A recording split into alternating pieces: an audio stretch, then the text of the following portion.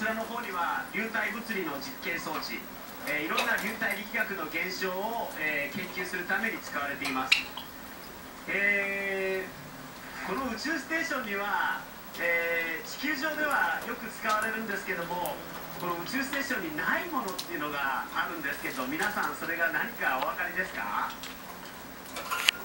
なんだろう。でもなんかそうなベッドとか。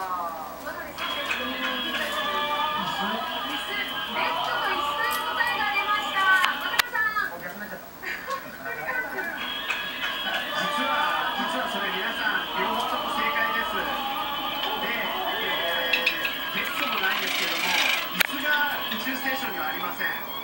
このようにふわふわ浮いた状態で生活をしていきますので、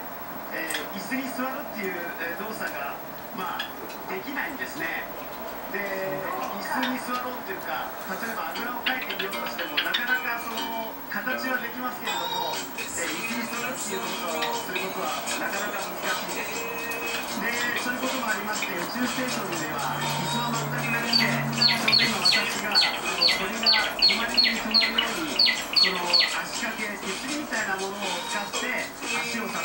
手で掴んだりして体を固定していますじゃああのゆっくつろぎたいとき椅子がない場合はどうされるんですか